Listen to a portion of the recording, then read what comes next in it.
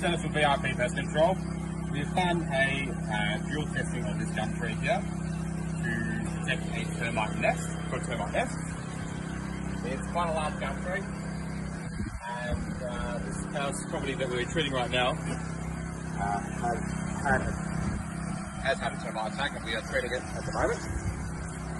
So we will put our borescope in, turn it on, and show you a nest inside.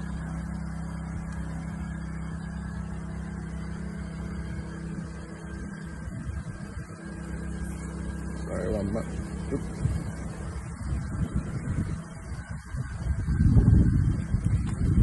And as you can see, those are soldier soldier coptotermes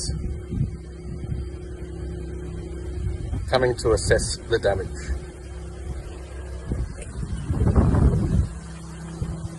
Signing off. What are you going to do to the tree now, uh, Dennis? We are going to inject it with a J rod, large, large piece of rod like that.